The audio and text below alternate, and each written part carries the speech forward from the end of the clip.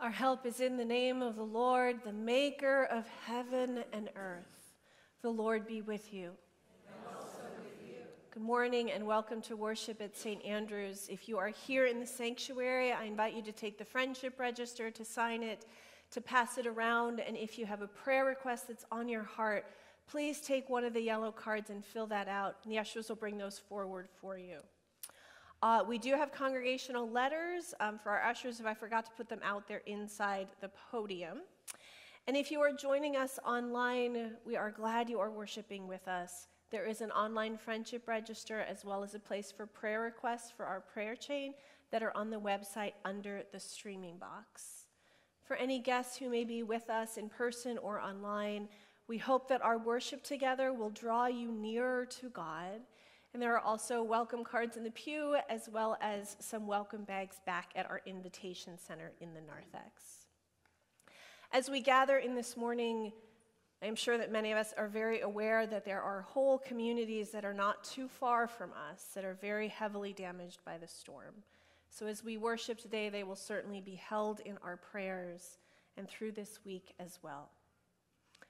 I do have a few announcements. The first one is we have a new code for the back door. So remember that we pass this along face to face, or at least over the phone, and not by email or text. So in a second, I will ask those who know the code to raise their hand and just take a note of someone, and after worship, ask them. Or you can call Mary Lynn or stop by the church office and adjust wherever you have that in your phone or whatever, the code for the back door. So if you know the code, please raise your hand. All right, so ask one of them. The whole choir knows it, which is a gimme. so ask one of them so we can all transition to our new code.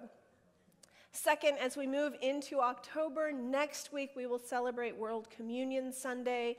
It is also time to begin gathering candy for trunk or treat. So donations can be put in Rob's office or, you know, just pile them up in front of the door. We'll figure it out.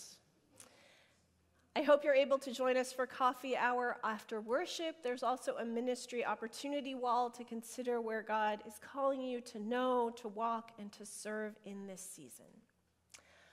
For our fellowship leaders, please meet in the library after worship at 11:15.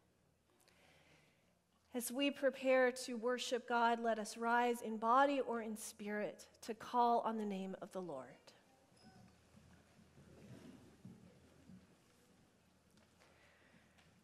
God of the past who has created and nurtured us, we are here to thank you. God of the future who is always ahead of us, we are here to thank you. God of the present who is here in the midst of us,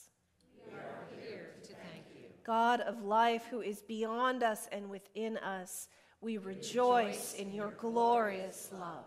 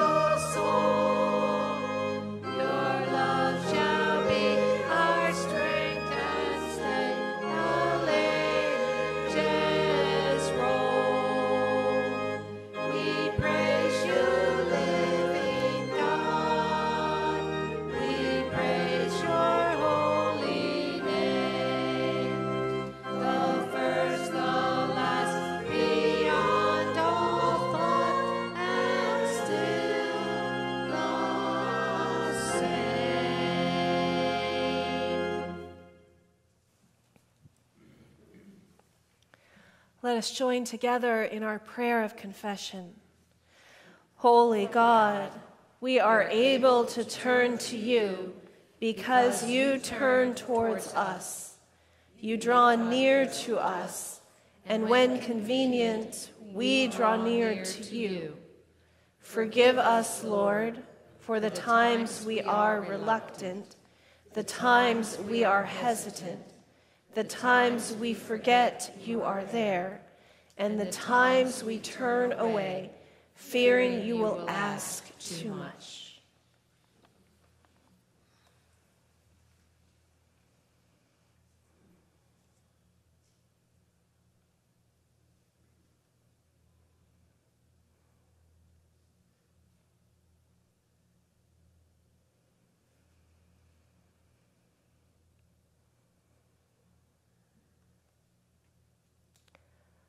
Lord, in your grace, hear our prayers.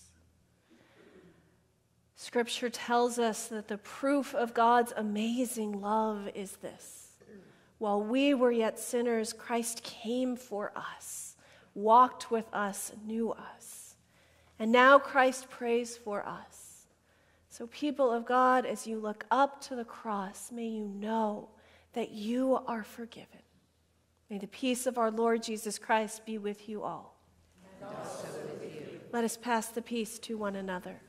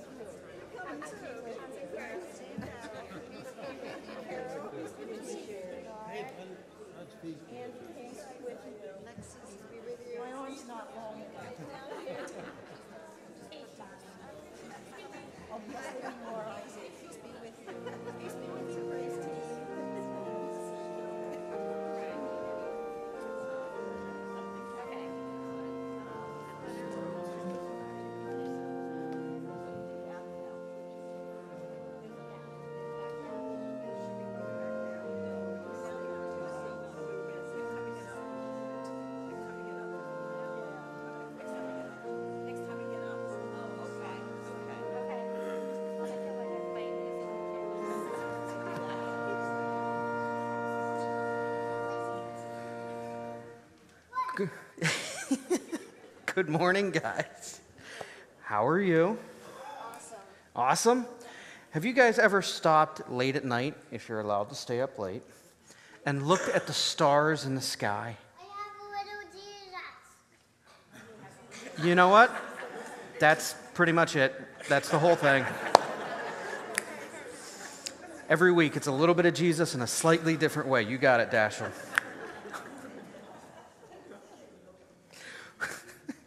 My job. The stars are really beautiful at night. If you ever get a chance, go look at them. But what's also amazing is that when we think about stars in Scripture, there are stories about how, you know, you ever hear about three guys who followed a star? Yeah? Okay, there's a story about that.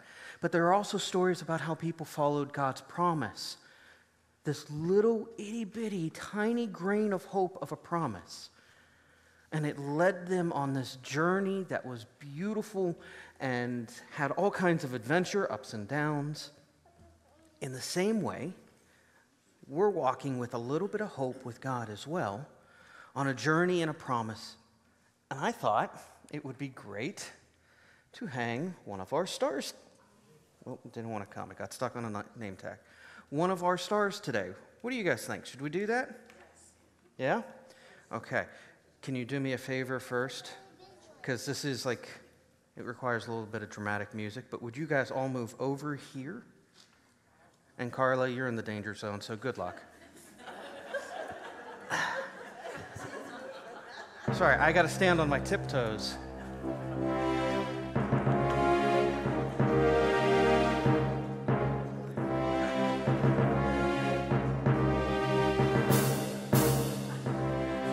I did this this morning too.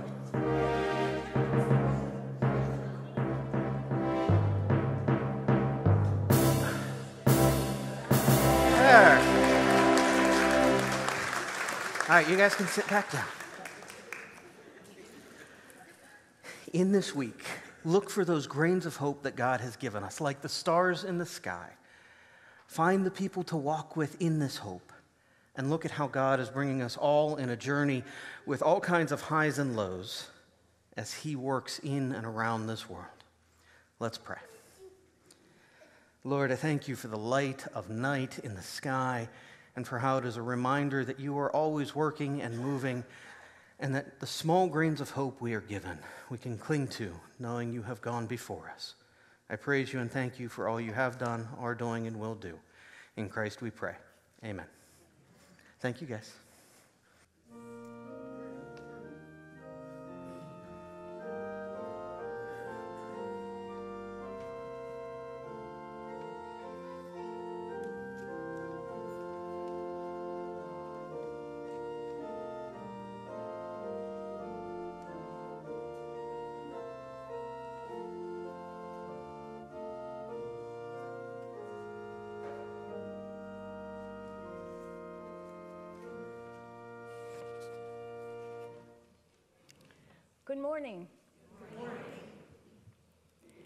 Join with me for the prayer of illumination.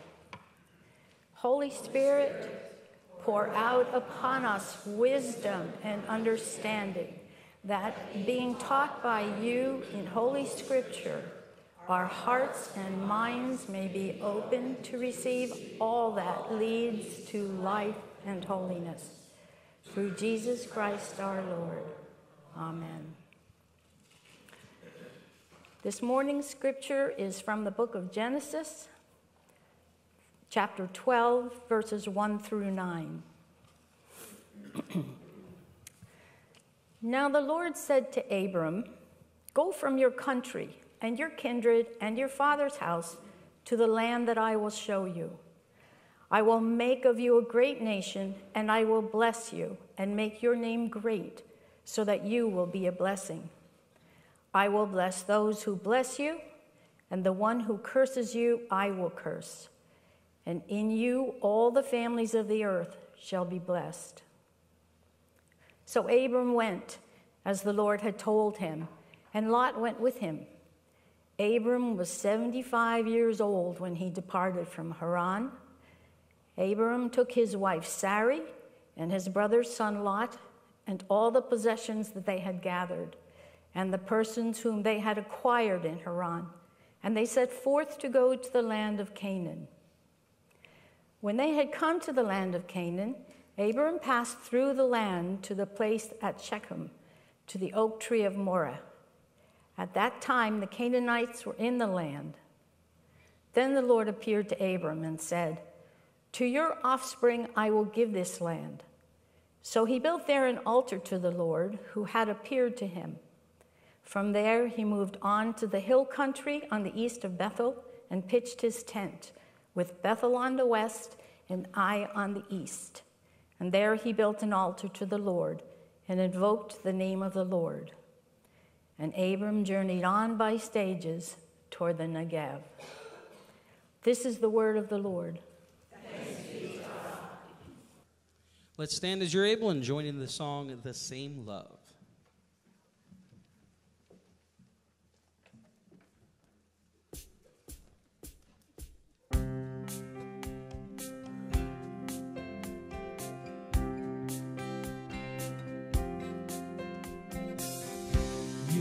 Choose the humble and raise them high. You choose the weak and make them strong. You heal the brokenness inside and give us life. The same love that set the captives free, the same love that opened eyes to see. It's calling us all by name. Calling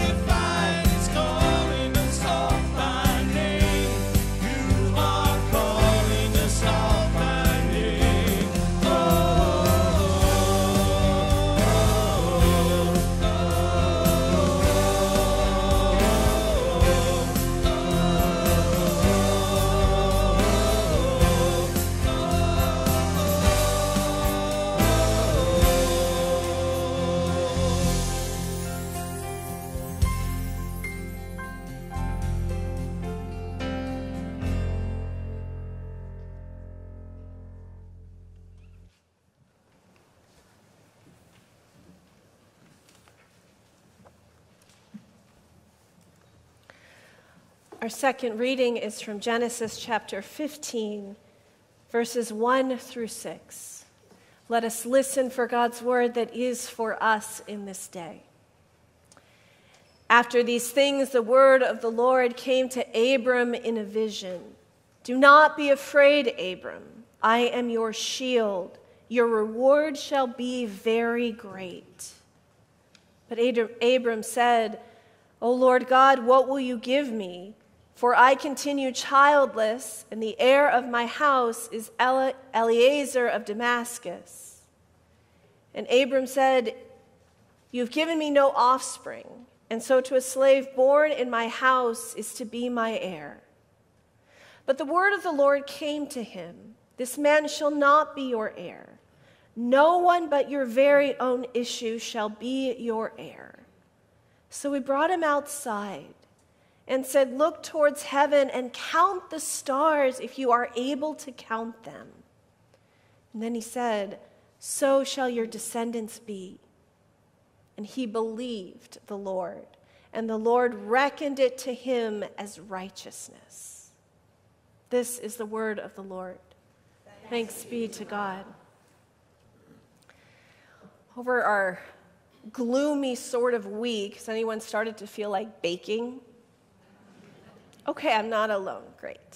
So I haven't really baked, but it's been on my mind. And my family, more towards the holiday, but we make fudge. Who likes fudge? All right, there we go. I remember when I was really young being set in front of this greased pan with a spatula and told to be ready. And then when mom dumped the hot fudge in, it was my job to quickly smooth it out so it would look nice and pretty. When I got older, I was given the job of stirring in the chocolate, which was really good for building a little bit of arm strength. So, after I moved to Pennsylvania and the holidays drew near, I decided I wanted to make some fudge. So, I had the secret family recipe that somehow is exactly the same as the one on the back of the marshmallow cream jar at the grocery store. And I got all of the ingredients and set them out on the counter, and the pan and the Pyrex dish were all ready, so I was ready to start. And I melted the butter and I stirred in the sugar, and then I took a quick phone call and I came back to find that the sugar was burned on the bottom of the pan. Anyone done that? Okay. So I started over. I got a new pan, didn't want to clean it. So this time I turned my phone off. I kept my eyes on this bubbling butter and sugar, and I stirred and I kept stirring, and I got the chocolate and the marshmallow cream all mixed in, and I poured it in the pan. But I could tell that something was wrong with the texture. So I rechecked the recipe, going back over every step in my mind, and I finally figured out I forgot the vanilla. So I left the pan on the counter, and I turned off the kitchen lights, and I called it a night. The next day, I decided to try one more time. So this time I called mom first and went through the recipe step by step, talking about the weather and the type of the stove. And this time, the fudge tasted good. Not perfect, but good. So after I've told you this story, would you feel confident eating fudge if I brought some in a couple months for fellowship? Okay, great. We'll try that out. This fall, we are going to ground our faith as we get to know the family that God used to found our faith. And this family is so tied to faith in God that God is referred to over and over in Scripture as their God, the God of Abraham and Isaac and Jacob.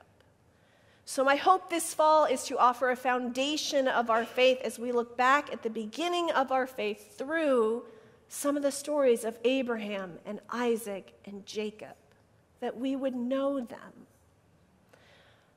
But first, let's consider why, why do we call this a beginning? It's not Genesis 1, it's not even Genesis 3. We're all the way in Genesis 12. So, first, we're going to take a little bit of context and look back at Genesis 1 through 11. Because there we see how God wanted to walk with Adam and Eve in the garden, and they got distracted.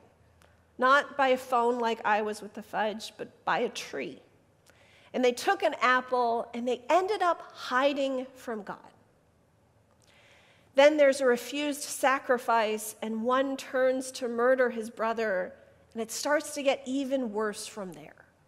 By chapter 6, God is ready to erase humankind from all creation, but there's this flicker of hope as Noah finds favor with God. And so, while God prepares to cleanse the earth, God also prepares a remnant in this huge ark. And then, when there is the dry land, there's a sacrifice and an offering, and it brings this bow in the sky that symbolizes a covenant between God and all creatures. So again, people spread out and they began to form nations on this huge expanse of land. A group of people start to plan this grand city. And it's going to have a tower that reaches all the way to heaven. So we might hope they are getting this to get closer to God. Do you think they are? No.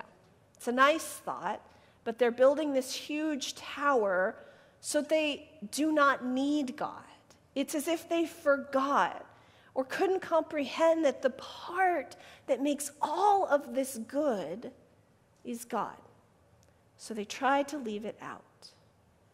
So again, the hope of God to connect to humanity is messed up by people and people are scattered, and the multitude of languages come, and humanity is again far from God and far from one another. And so we come to chapter 12. And already God has tried over and over and over again to build a relationship with humanity, and humanity keeps messing it up. So here in chapter 12 It's as if God chooses to start yet again, and he calls Abram. And this story is going to go through generations all the way through the rest of the 50 chapters of Genesis and beyond. So I have all this time to get to know this section. Now, it's interesting if you noticed in chapter 12, we don't hear anything about Abram, who God will rename Abraham, before God calls him. God tells him to go to the place that God will show him. But unlike Noah, there's no comment that Abram found favor with God or was righteous. What we see is wholly God's action. We hear God offer these promises to Abram, saying, I will make you a great nation, I will bless you, I will make your name great so that you will be a blessing. Only then do we hear what Abram does. He goes, as does his wife Sarai, whose name will be Sarah, and his nephew Lot. They took all that they had and they go to another land. So we pick up in chapter 15 with these words after all these things. Anyone who has a little time, you might want to read between chapter 12 and chapter 15 to find out what all of those things were. Because you think there was a lot, there is. And you will find that in those chapters, you can see how human and how flawed Abram is. And yet, here again, even after mistakes and missteps, the Lord appears to Abram in this vision and says, Do not be afraid. And to Abram, who could easily be feeling a little lost or at loose ends, living in this new land, uncertain about his family's future, he's given these assurances and promises of land and of descendants and of his family's future. And then he's given a sign that can only be seen on a clear night. And above in the darkness, there's more lights than can be counted. And I think of how navigators look to the stars for directions. And here, God's asking Abram to look to the stars and to know God's promises. And he looks up and sees more stars than he can count. And so, this childless man is told his descendants will be more than the stars. I wonder how many nights he looked up, remembering those words from God and seeing all of that light shining in the darkness. God starts again. Genesis shows us how things get messed up, and God starts again and again and again, faithfully not giving up on humanity. We see God's action and Abram's action and we see this relationship forming not through a perfect person, but through one who says yes and who turns to God. And through his life, we start to be able to grasp and to see God's deep faithfulness that is quite honestly more faithful than we could ever ask or imagine.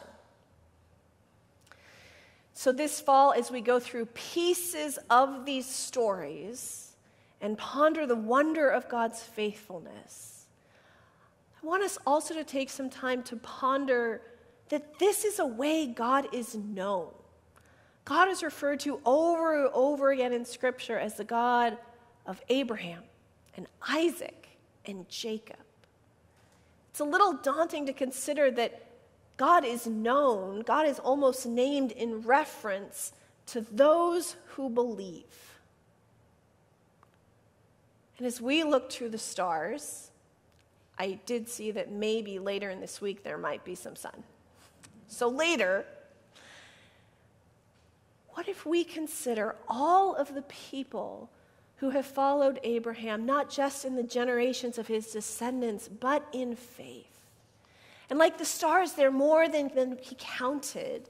They're even more than they're in our specific faith. They're the Jewish people of faith, and the Christian people of faith, and the Islamic people of faith. All of us look to the God of Abraham and Isaac and Jacob.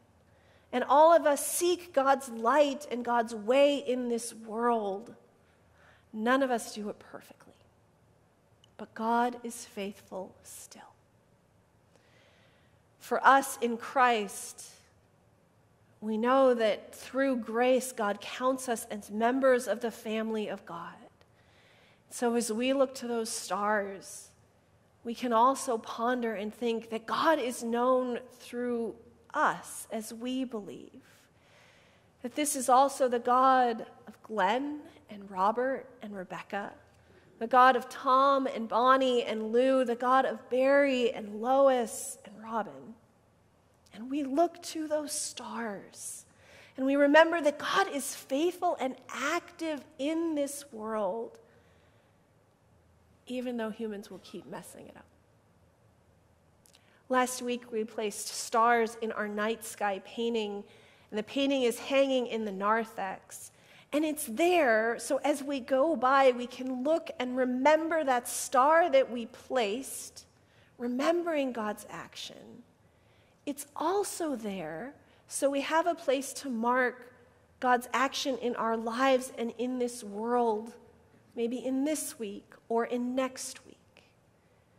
So when you have a moment, when you connect to God, when God calls you, when the Spirit introduces you to someone, when Jesus is somehow known through you or through another, mark that moment. Place another sky in that night sky painting so that together we may be able to look and see God's presence and action in and around and through us. God made those promises to Abram and asked Abram to go where he would lead them. This world then looked to Abraham to see and to know his God. In Jesus Christ, God has again found a way to be with us. Jesus gives us his amazing promises of God's hope and presence. May we consider what God is asking of us as we go out into this world. And how does the world see God through our lives?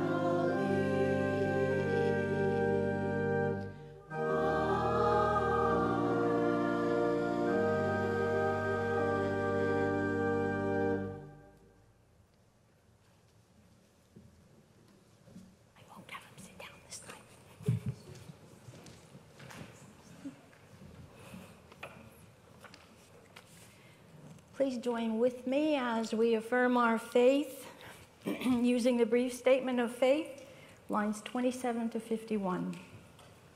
We trust in God, whom Jesus called Abba, Father, in sovereign love.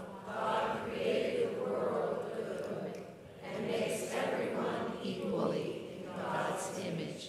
male and female, of every race and people, to live as one community. But we rebel against God. We hide from our Creator. Ignoring God's commandments, we violate the image of God in others and ourselves, accept lies as truth, exploit neighbor and nature, and threaten death to the planet entrusted to our care. We deserve God's condemnation. Yet God acts with justice and mercy to redeem creation. In everlasting love, the God of Abraham and Sarah chose a covenant people to bless all families of the earth. Hearing their cry, God delivered the children of Israel from the house of bondage. Loving us still, God makes us heirs with Christ of the covenant. Like a mother who will not forsake her nursing child, like a father who runs to welcome the prodigal home, God is faithful still.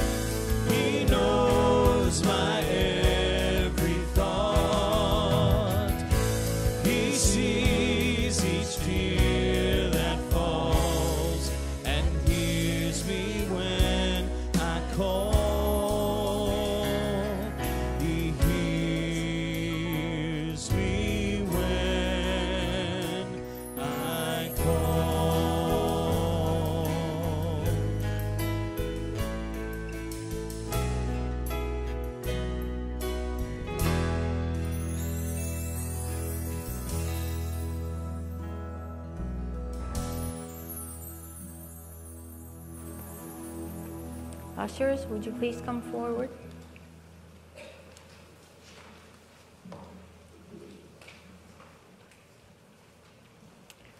We return a portion of our blessings to the one who gave them to us.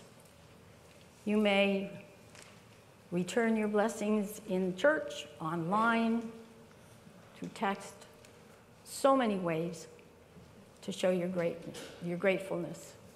Would you please join me with, with me for the prayer of dedication? Blessed are you, O Lord our God, maker of all things. Through your goodness, you have blessed us with these gifts. With them, we offer ourselves to your service and dedicate our lives to the care and redemption of all that you have made for the sake of him who gave himself to us, Jesus Christ our Lord.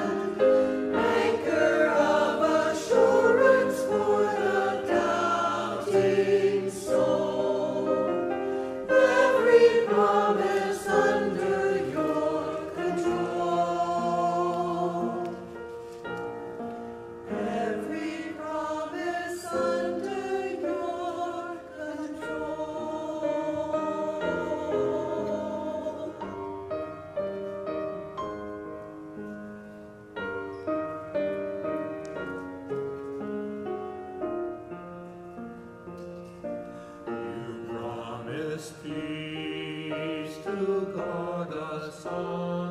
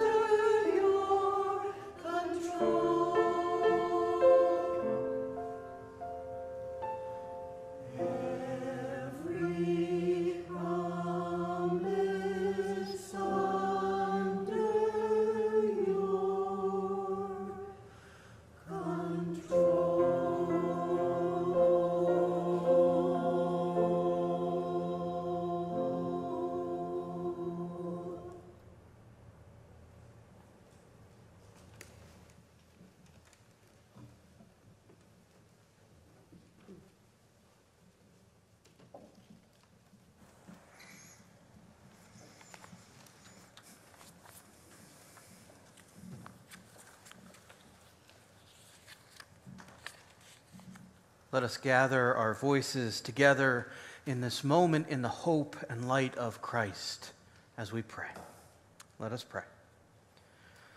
Lord, in this day, we come seeking your light, looking towards the works that you have done in the past, and praying in hope to the things you are going to do in the present and in the future. We lift up the burdens of our heart this day, spoken and unspoken, trusting in you. Lord, we lift up all who have had surgery in this past week and are on, on a journey of recovery. We lift up Kitty as she is recovering from her surgery, and Fred as he is recovering from his. And Lord, we lift up those who are going into this week with surgeries ahead of, ahead of them. We lift up Todd, who is looking at an open heart surgery. And we lift up Izatis as she has surgery tomorrow. We ask that your hands would guide the medical staff and give comfort to the families and give comfort to them. And Lord, we lift up our neighbors in the south. We ask that you would be with all who are f- affected by the flooding that has happened with this hurricane. We take a moment to just lift up the names on our hearts trusting you hear us.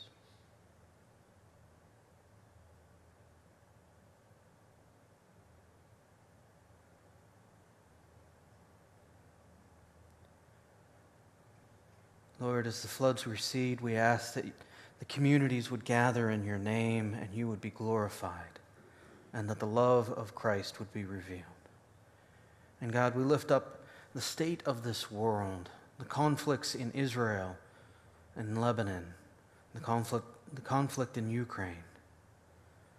We ask for your peace in our hearts, but in those who are affected by war. Would you be glorified in bringing peace? We thank you for all you have done, are doing, and will do in this world and time.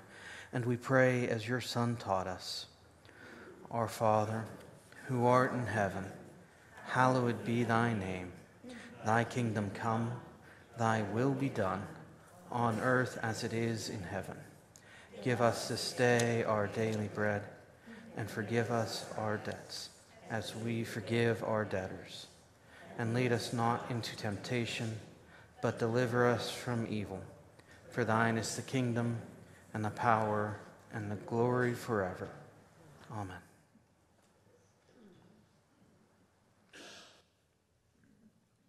Please stand as you're able and join in the song God of Brilliant Lights.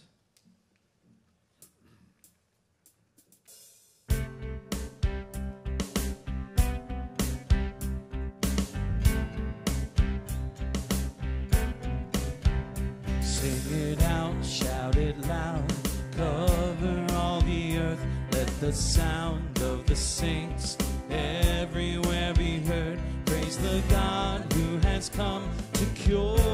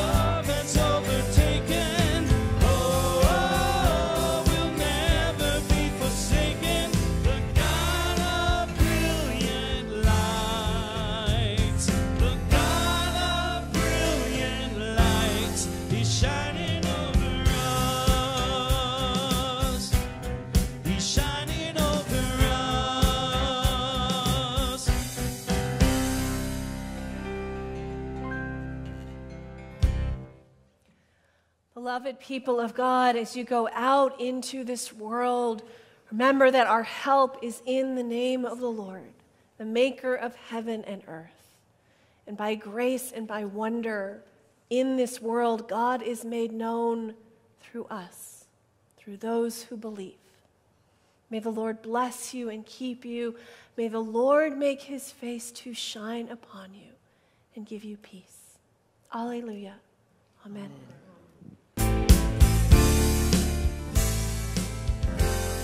He's shining over us. He's shining